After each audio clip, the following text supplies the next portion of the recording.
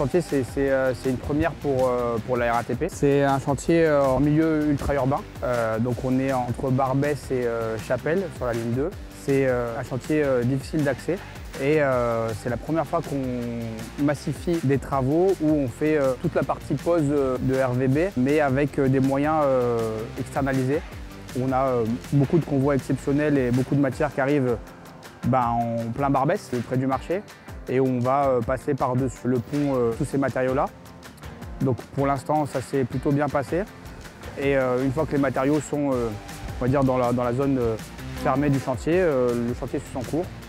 Les encadrants travaillent à cela et ça se passe plutôt bien.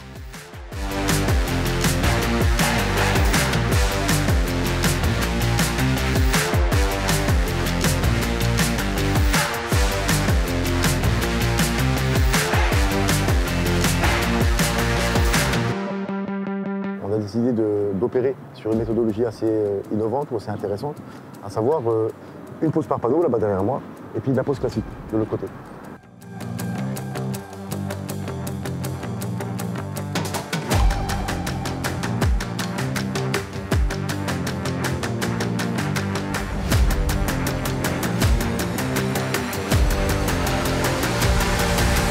Aujourd'hui, on est vraiment très concerné par euh, la sécurité. Donc on, s'est rendu compte qu'on était vraiment rentré dans euh, le cadre de l'interdépendance. Chacun se soucie de son bien-être, mais également du bien-être des autres. On travaille vraiment en cohésion.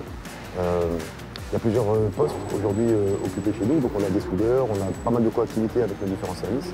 Et les mecs, on se connaît depuis 15 ans, donc tout se passe bien.